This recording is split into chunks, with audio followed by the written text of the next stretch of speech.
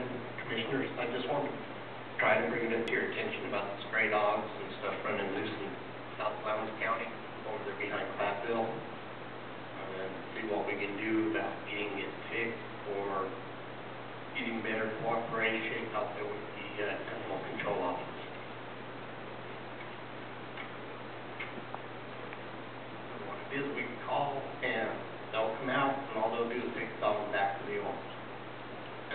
out again and then go back again.